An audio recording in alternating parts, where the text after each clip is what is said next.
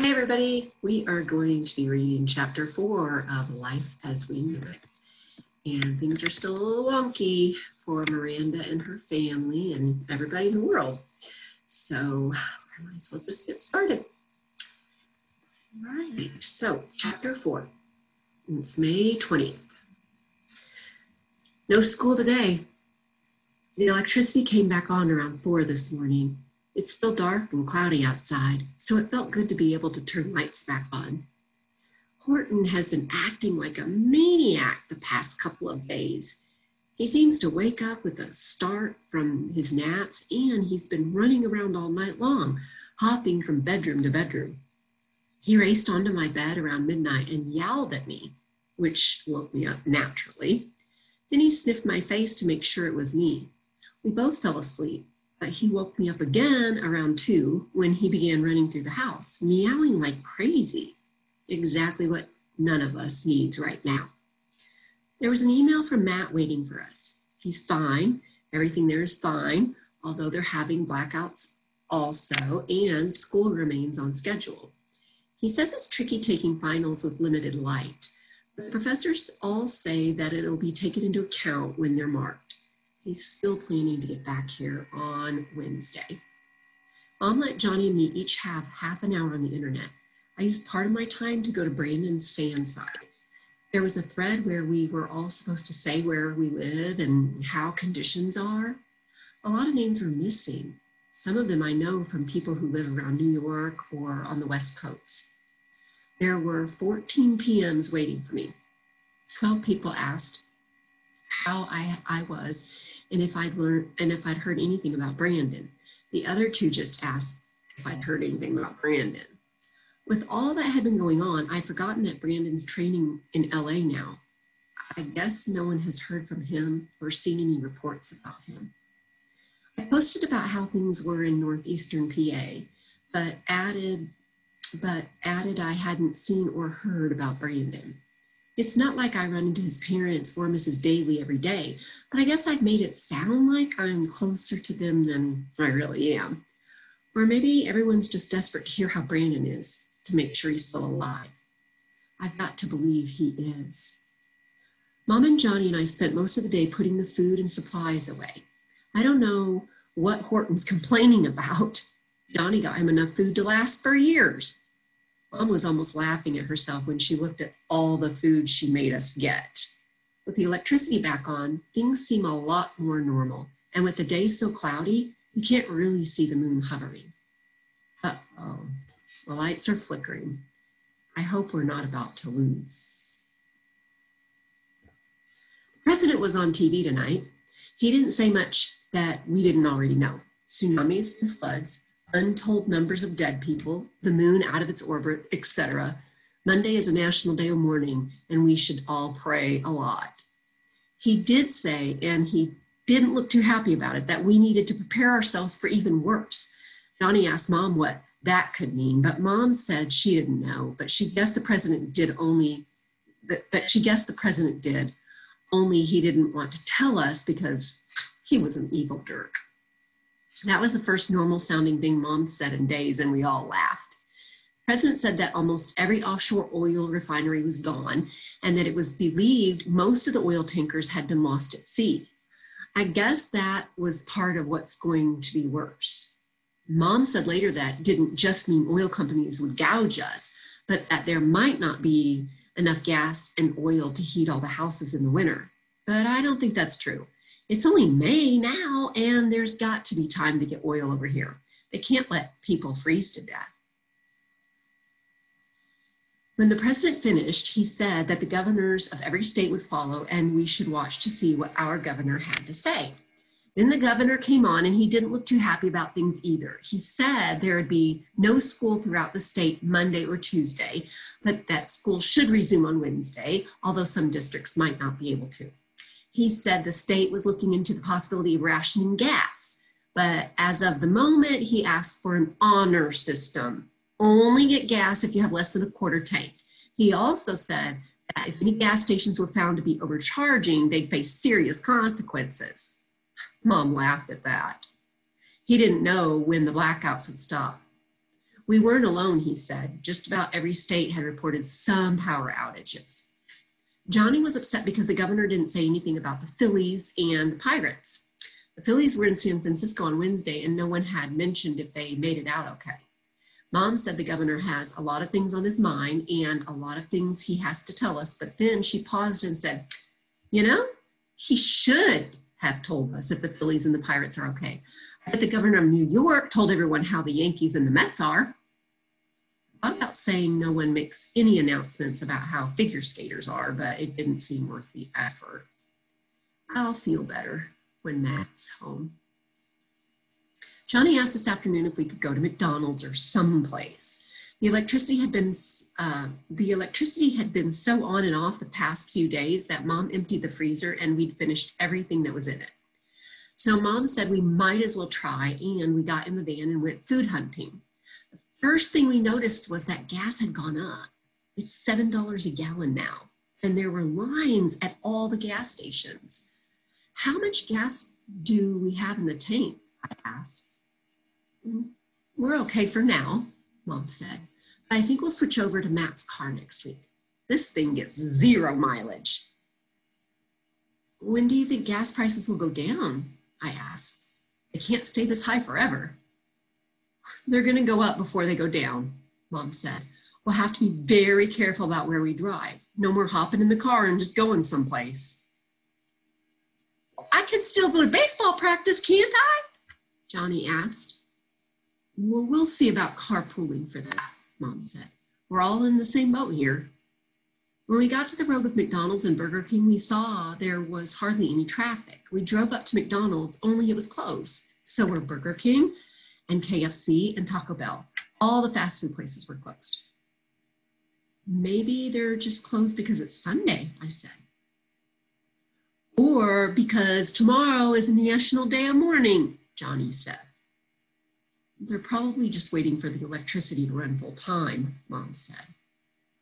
It felt weird though, seeing them all closed. The same kind of weird when you see the moon and it's just a little too big and too bright. I guess I always felt even if the world came to an end, McDonald's would still be open. Mom drove around some more and we found a local pizza place that was open. The parking lot was jammed and there were about a dozen people standing outside just waiting to get in. Mom dropped Johnny and me off and we got in line. Everybody was pretty friendly and there was a lot of talk about what places were closed and what were open. The mall was closed, but one of the supermarkets was still open, even though it didn't have much stuff left. Johnny asked if anyone had heard anything about the Phillies, and it turned out one of the guys in line actually had. The Phillies had played a day game on Wednesday, and the game was over before the asteroid hit. They'd taken a charter flight to Colorado, and apparently they were all okay. I asked if anyone knew Brandon's family or Mrs. Daly, just in case anyone had heard anything about Brandon, but no one did there were a lot of rumors going around, like we should be prepared not to have electricity for the entire summer. And some people had heard that the moon was going to crash into the earth by Christmas. One man said he knew someone on the school board and they were thinking about canceling the rest of the school year. And all the kids standing in line cheered, Johnny included. I guess as rumors go, that's a lot better than the moon's going to crash into the earth. But I don't think either one is likely to happen. Not that I know what is. By the time mom got back to us, we were almost in the shop. She looked kind of excited, but she wouldn't tell us why. It took another half hour before we actually got to place our order, and by the time we did, there wasn't much left. But we were able to get a plain pizza and some garlic rolls. I don't even think I've ever been so excited about food. We walked back to the car, and when we got in, mom said she'd found a bakery that was open, and she bought, bought cookies and a cake and a couple of loaves of bread. Nothing was fresh, but it was still edible. We stopped off at Mrs. Nesbitt's and brought her over for our feast. The electricity was on, so we reheated the pizza and the garlic rolls, and they tasted great. For dessert, we had chocolate cake, and Johnny drank one of those weird never go bad milks that I'd bought. The rest of us drank ginger ale. Horton hung around hoping for treats. This may be the last meal like this we have for a while, Mom said. We shouldn't count on pizza and burgers and chicken until things get back to normal. There was rationing during World War II, Mrs. Nesbitt said. That's probably what they'll do now. We'll pool our ration points and we'll be fine. I wish I'd trusted the president, Mom said. I just can't imagine him handling this. People rise to the occasion, Miss Nesbitt said. We have, after all. Just then the electricity went off, only somehow it felt funny and we all laughed. Mom got out the Monopoly game and we played until there wasn't enough sunlight left. Mom drove Mrs. Nesbitt home and I went to my room where I'm using a combination of candlelight and flashlight to write by. I wonder when we'll get electricity back for good. It's going to be an awfully hot summer without air conditioning. The National Day of Mourning meant that there were memorial services on the radio. Lots of clergy, lots of politicians, lots of sad songs. They're still not giving a number for how many people died, but maybe that's because people are still dying. With so much coastline lost, the oceans keep rolling in and destroying more land and more buildings, and people who didn't want to evacuate or who couldn't because the highways are all jammed have been drowning. Mom says we're still pretty inland and have nothing to worry about. The electricity came on for an hour this afternoon. There was an email from Matt saying he was still planning on getting home Wednesday. You know, I know it's dumb of me, but I keep thinking that once Matt gets home, everything will be okay. Like he'll push the moon back into place. I wish there was school tomorrow. I keep thinking about cafeteria lunches and how I always complained about them and how much I want to eat one now. Yeah, the electricity came on around nine this morning and mom grabbed Johnny and me and we drove around looking for any stores that might be open. We did find one supermarket that was open, only it just had school supplies and pet toys and mops. It was so strange walking around this big store and seeing all those empty shelves. There were only a couple of employees there and a security guard, although I can't imagine what he was protecting. Mom didn't think we'd be hungry enough to eat pencils, so we left without buying anything. A lot of the appliance stores had boarded up windows. There was broken glass in the parking lots, so I guess they'd been looted. I don't know why, since there isn't any electricity to run the flat screen TVs or anything else for that matter. It was funny seeing which stores were still open. The really expensive shoe store had boarded up windows, but it was open. Mom said the world might be coming to an end, but she still wasn't going to pay a hundred bucks for a pair of sneakers. The sporting goods store was closed and its windows, its window was boarded up and someone had painted in giant letters, no more guns or rifles. Mom still has cash left and I could tell she wanted to buy something she started to look at all the soups and vegetables and peroxide at home and feel proud of herself. We finally found a clothes store that was open. There was a cashier, but no one else. It was the kind of store we never go to ordinarily, small and not well lit, and everything looked dingy. Mom bought two dozen pairs of socks and underwear. She asked if they had any gloves, and when the cashier found them hidden away in a drawer, Mom bought five pairs. And then she got this scary, I just had a brilliant idea look that I've noticed more and more these past few days and asked if they had any thermal underwear. I practically died of embarrassment and Johnny didn't look too happy either. But when the cashier dug out the long johns, mom bought them too. The cashier got into it then and started pulling out scarves and mittens and winter hats. Mom went berserk and bought everything, whether it would fit any of us or not. You could open your own store now, the cashier said, which was probably her way of saying, Thank God I found someone even crazier than I am, and maybe she'll buy everything and I can go home. We carried bag loads of stuff back to the van. What are we going to do with kids' mittens? I asked mom. Give them to Lisa for, the, for her baby? You're right, mom said. Baby things. I should have remembered. And she went right back into the store. And when she came out, she had armloads of baby shirts and baby overalls and baby socks, and even a baby coat. No brother or sister of yours is going to go cold this winter, she said. That was kind of sweet of her, but I think she's gone crazy. I know Lisa, and she'd never want a baby of hers to wear the clothes that store was selling. Actually, it should be kind of funny to see mom make the big presentation to Lisa and Dave. I guess she'll do it when she picks up Johnny at baseball camp and takes us to dad's for August. Of course, by then Lisa's parents will have visited and the baby will have enough clothes for a lifetime. And there, mom will be handing over all those socks and things, and Lisa will be trying to act like she's grateful. Maybe if the store stays open, mom will be able to return all the stuff. I know I don't plan on wearing long johns next winter. Actually, if you're cold enough, Miranda, you will. Mom and Matt should have been home by now. We have electricity, so Johnny's watching a DVD, but he's nervous too. It was a long, weird day, and it's already feeling like a long, weird night. For the first time in a week, the sky is completely clear and you can really see the moon. It's so big and bright, it feels like we don't need lights on, but we have them all on anyway, just about every light in the house. I don't know why Johnny and I feel like having them all on, but we do. School started again today, and that didn't make things feel right, like I thought it would. The bus was only about half full.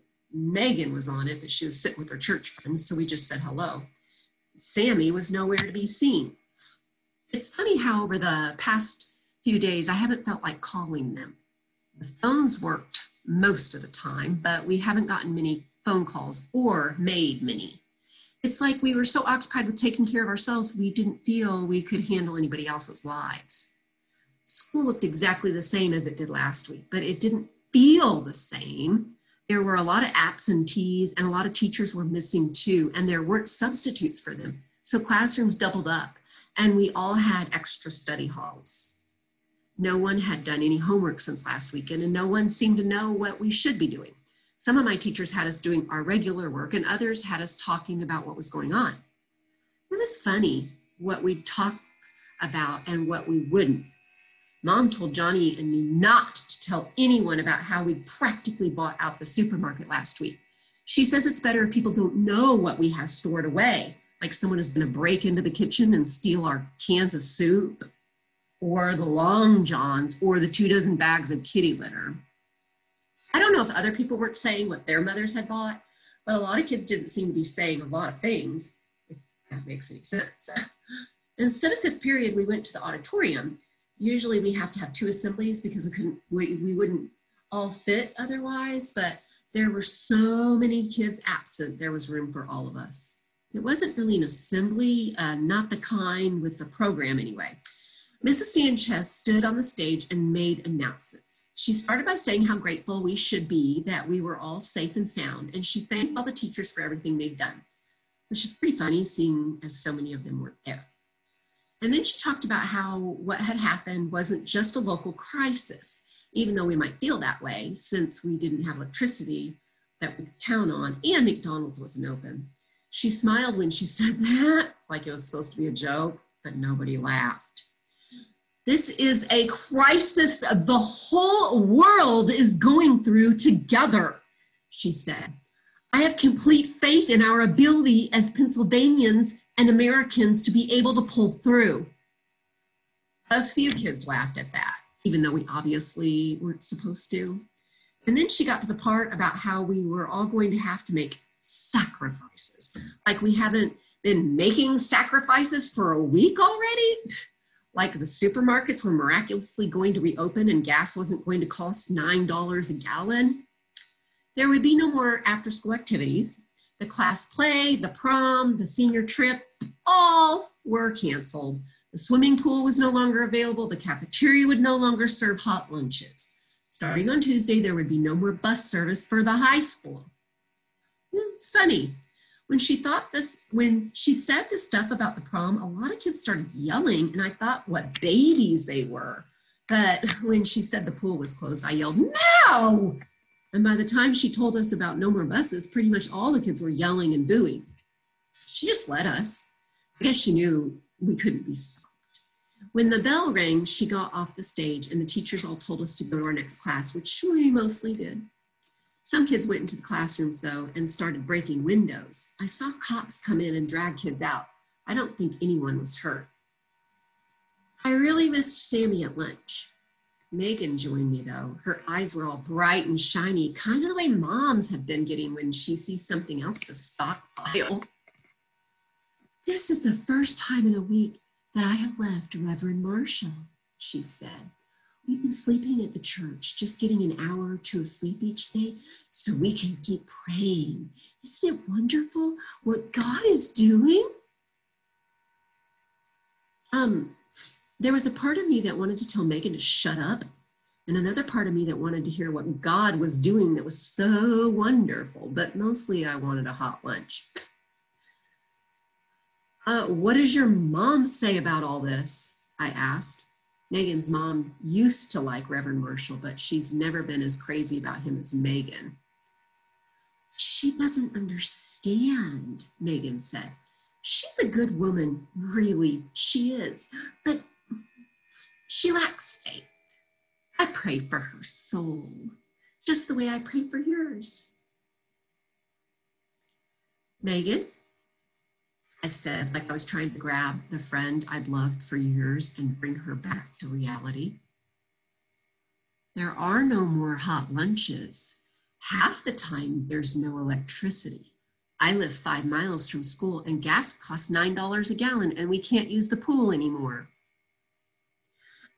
Those are just earthly concerns, Megan said.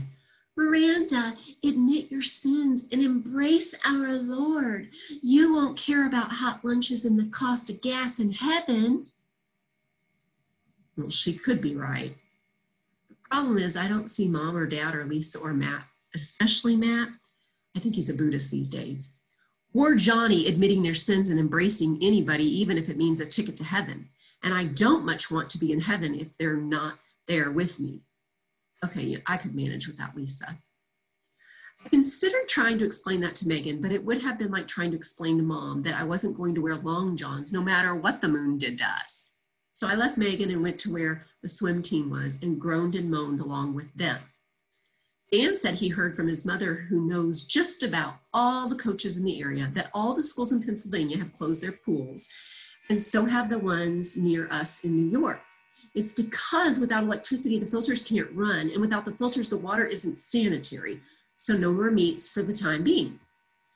Karen mentioned the pool at the Y, but a couple of the kids said the Y was closed. The town has a pool, but it's outdoors and it isn't heated.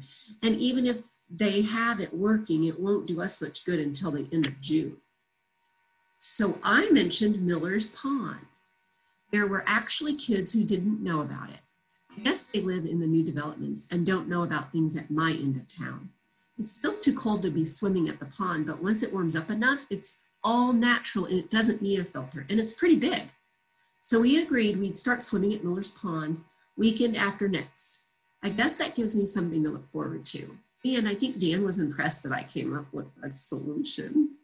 Now, if I could only solve the hot lunch situation. It's amazing how much I miss the cafeteria macaroni and cheese. I hear Matt and Mom. Matt's home. Things seem so much better now that Matt is home. He's been throwing bat, uh, bat, he's been throwing batting practice to Johnny. I've been catching, and that makes Johnny happy. He and mom went through everything in the house, all the food we bought, and all kinds of stuff mom's grandparents had hidden away in the attic and cellar. Yarn and a crochet hook. Mom says she hasn't crocheted in years, but she thinks it'll all come back to her if she works at it and mason jars and canning equipment and a manual can opener and an egg beater and the sorts of things kitchens had in the olden days. He and mom spent all day yesterday organizing the food so we know how much tuna we have and how many canned peaches. I think we have enough stuff to last forever, but mom says she'll be relieved when the supermarkets open again. Just to hear her say she thinks they will, it cheers me up. Matt and I haven't had a chance for a real talk yet. He doesn't really know any more than I do about what happened and what's going to happen. But I still feel like if I hear it from him, I'll believe it more. School was better by Thursday. A lot more kids showed up, including Sammy, and more of the teachers too. The high school is five miles from here, which mom says is walkable on a nice day. Johnny lost his bus service to the middle school, and that's a little farther away. So mom's been trying to work out a carpool all our bikes and he is spending the weekend getting them in shape. I used to bike a lot and I guess it's a good way, a good a way as any to get around. I'll certainly get to school faster by bike than by foot. Peter showed up this evening, which was a nice surprise, especially for mom. He bought us a bag of apples that one of his patients had given him. He and mom couldn't go out anywhere, so the two of them baked an apple crisp for all of us. We had pasta with marinara sauce for the like the 10th time this week, so the hot dessert was a treat. Matt got Mrs. Nesbitt, so it was really an event. Six for dinner, with a main course and a dessert. Of course, by the time we were ready to eat, the electricity had gone out again. It was out almost it was out most of the day, but we're used to that by now. We had electricity for an hour during school yesterday, and it was like none of us knew what to do about it. At home, when the electricity goes on, we rush to the TV and turn it on we could listen to the radio all we could listen to the radio all the time, but mom wants us to preserve batteries, so we only listen in the morning and in the late evening. such a weird way to live. I just can't believe it's going to stay like this much longer. On the other hand, I'm already starting to forget what normal life felt like clocks that were on time and lights that went on with the flick of a switch and internet and streetlights and supermarkets and McDonald's and da, da. One thing Matt did say to me was that no matter what the future is, we're living through a very special time in history. He said that history makes us who we are, but we can make history also, and that anyone can be a hero if they just choose to be. Matt's always been my hero, and I think it's a lot harder to be one than he's saying, but basically, I know what he means. I still miss ice cream and swimming laps and feeling comfortable looking at the night sky. And it's kind of weird because it's kind of amazing what we can get used to. And, you know, if we have to, I guess that's a good thing, but I don't want to get used to things that we don't have to get used to. So we don't want to do that, in my opinion. Okay, anyway. May 29th. The electricity came on this morning around 9, and mom did what she always does when we realize it's back on.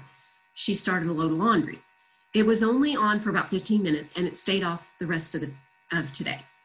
About 10 minutes ago, we all woke up because of the strange roaring sound. We all raced toward the sound, which turned out to be the washing machine going back on. Oh Who knew the rinse cycle could be so scary? Mom says she's staying up until the clothes can go in the dryer. She doesn't think the electricity will stay on long enough to dry the clothes completely, but she figures it's worth a shot. I really wish we had electricity at 2 p.m. rather than at 2 a.m. But I guess I should think of mom as a hero of all the all night laundry. I don't always know how long the power has been off. It went on in the middle of the night, but by the time I woke up this morning, it was off again. We're spending more and more time outdoors just because it's nicer outside and the sun provides natural light. We're all used to seeing the moon now, so that isn't bothering us like it used to. But we leave a light on in the living room window, so when the electricity does come back on, we can go inside and do what we need to do. Today it came on around one and we raced in. Mom went on the internet, which kind of surprised me. Usually she vacuums or starts a little laundry. She's given up changing the time on the clocks. but this afternoon, she skipped all that and went to the internet. She had heard on the radio this morning that they were starting to list the names of the dead. She found the names of most of the editors that she worked with and her agent and a lot of writers she'd met over the years. She found two friends from college and one friend from a long time ago before we moved here, and dad's best man and his family. She also found a couple of second cousins and their kids. In less than 10 minutes, she found over 30 names. But one good thing, she checked on Mrs. Nesbitt's son and daughter-in-law and their kids and didn't find them on any list. I asked her to look up Brandon and she did, but couldn't find him. Of course, there are still millions of people unaccounted for, but at least there's still hope he's alive. I don't get to go on the board very much, but when I do, no one seems to have heard anything. I can't help thinking that's a good sign. There were names of people I know that I could have looked up. Kids I went to summer camp with, and kids I know from swimming, and old friends from elementary school who moved to New York or California or Florida, but I didn't try to find them. They weren't everyday parts of my life anyway, and it feels wrong somehow to find out if they're dead when I didn't much think about them while they were living. Donnie looked up baseball players. A lot of them were listed as known dead. and a lot more were listed as missing, presumed dead. Matt looked up kids from his high school class. Only three were listed as dead, but a bunch were listed as missing, presumed dead. As a test, he looked us up, but none of our, none of our names were on any of the lists. And that's how we know we're alive this Memorial Day. And that's kind of sad. I would think I'd know I'm alive because I'm alive, not because my name's not on a dead list. This is really um, getting intense, and I have a feeling it might not be getting any better. We'll see. Oh, May 31st. First day without bus service. So naturally, it poured. It wasn't scary rain like it was that other time. You know, no big thunderstorms, no tornado winds, just good old fashioned pouring rain. That ended up driving Johnny and me to school. Mom stayed home to take advantage of electricity and work on her book. I hadn't really thought about how hard it must be for mom to get any writing done without a computer or without an agent or editors or publishers. Over half the kids were absent, and Johnny says there were even fewer kids at the middle school. Most of our teachers were there though, and we actually got a lot of work done. And we had electricity until nearly two. So even though it was dark outside, the school was really kind of cheerful. Empty, but cheerful. When Johnny came home today, he told us they'd announced that all standardizing testing had been canceled. I've begun wondering what they're going to do about our finals, which should start in two weeks. We haven't really gotten any schoolwork done, and no one is assigning homework because there's never any way of knowing if there's going to be any light to work by. Peter said over the weekend that he'd heard a rumor that they might just close school next week and promote all of us and hope things are back to normal by September. And see that, so I apologize if I was insensitive because I was thinking about COVID but that's the part that reminded me of COVID. And like last year in 2020, when we stopped going to school and everybody thought it would be better by September. And, and we were teaching virtually and doing different teaching options. Anyway, sorry. I don't know if I want that or not except the part about back to normal by September. I know I want that. Okay, I'm going to stop there and I will put out chapter five tomorrow. You guys are amazing. Have a great day.